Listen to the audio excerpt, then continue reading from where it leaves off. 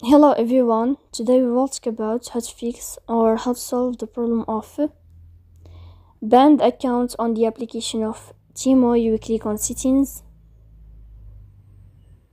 In this page you can click on apps, default apps, app settings. When above you can search about Temu app and you will enter. Then you can click on first stop and you can click OK.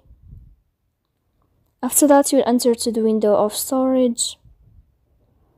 Then you can click on clear cache.